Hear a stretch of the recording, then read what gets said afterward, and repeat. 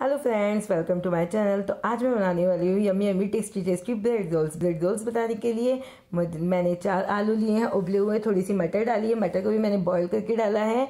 आप चाहें जितनी डाल सकते हैं, मैंने थोड़ी सी डाली है। एक हरी मिर्ची डाली है, बारीक कटी हुई। एक अनियन डाला है, बारीक कटा हुआ। थोड़ा सा करियंडर डालेंगे, बारीक चॉप किया हुआ। और इसके अंदर हम स्पाइसेस ऐड करेंगे। आप स्पाइसेस अपने टेस्ट के अकॉर्डिंग ऐड कर सकते हैं। मैंने रेड चिली पाउडर डाला है थोड़ा सा कोरिएंडर पाउडर डाला है। अब मैं इसके अंदर सॉल्ट ऐड करूँगी। हींग ऐड करूँगी सॉल्ट ऐड करूँगी और मैं इसके अंदर आमचूर पाउडर ऐड करूँगी। थोड़ा सा गरम मसाला ऐड करूँगी मैं इसके अंदर।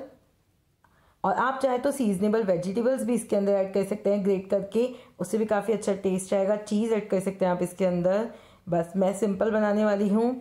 और ये जो मेरे चार आलू है, इसमें मैंने छोटी वाली ब्रेड का पैकेट लिया है, मैं उससे बनाऊँगी। और साइड के कॉर्नर्स कट कर रही हूँ मैं। आप चाहें तो कॉर्नर्स नहीं कट करें, क्योंकि पानी में डिप होने के बाद वो सॉफ्ट हो जाते हैं तो कोई दिक्कत नहीं है। और मैं दो तरह से आपको बनाना बताऊँगी इसको। मतलब किस तरह से आप रोल करते हैं। पानी में मैंने थोड़ा सा नमक डाला है। जिससे कि है ना ब्रेड में भी सोल्ट का सॉल्ट का टेस्ट आएगा तो काफ़ी अच्छा लगेगा। और इसे स्क्वीज कर लेंगे डिप करके। दो ब्रेड ली थी मैंने, क्योंकि ब्रेड बहुत छोटी है ना तो सिंगल ब्रेड से नहीं बन पाएगा अच्छे से।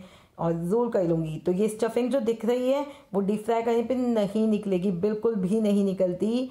और ये मैं सिंगल सिंगल ब्रेड का करूँगी। अगर आपको उस तरह से नहीं सही लग रहा तो आप इस तरह से भी बना सकते हैं। एक ब्रेड पे स्टफिंग लगाकर, दूसरे से कवर करके इसको रोल कर लेंगे। मैंने ऑयल को गर्म होने रख दिया है मीडियम टू लो फ्लेम पर हम इसे डीप फ्राई करेंगे। मतलब लो भी नहीं करनी होती मीडियम फ्लेम रखनी होती है आपको। और जल्दी से फ्राई हो जाते हैं ये, क्योंकि इसमें कुछ कच्चा रहने का रहता नहीं है। तो बस अब इन्हें डीप फ्राई कर लूँगी मैं। और बाहर इतनी तेज़ बारिश हो रही है तो ब्रेड रोल खाने का तो एक अलग ही मज़ा आ जाएगा। तो ये डीप फ्राई हो जाएँगे अच्छे से। और आप इसे हरी धनी की चटनी कैचअप जिसके साथ आप चाय सर्व कर सकते हैं। बहुत टेस्टी लगता है ये।